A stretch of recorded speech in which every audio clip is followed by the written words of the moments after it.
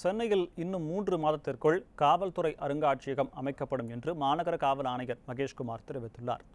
நூற்றி பதினெட்டு ஆண்டுகள் பழமையான சென்னை திருவல்லிக்கேணி காவல் ஆணையம் ஓராண்டாக புதுப்பிக்கப்பட்டு வந்த நிலையில் பணிகள் முடிந்து இன்று பயன்பாட்டுக்கு வந்தது.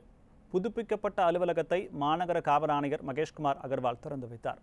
அப்போது செய்தியாளர்களிடம் பேசிய அவர் இந்தியாவிலேயே மிக பழமையான எழும்பூர் காவல் ஆணையர் அலுவலகத்தை புதுப்பிக்கும் பணிகள் நடந்து வருகிறது என்றும் மூன்று மாதத்திற்குள் இந்த அலுவலகம் அருங்காட்சியகமாக மாற்றப்படும் என்றும் தெரிவித்தார்.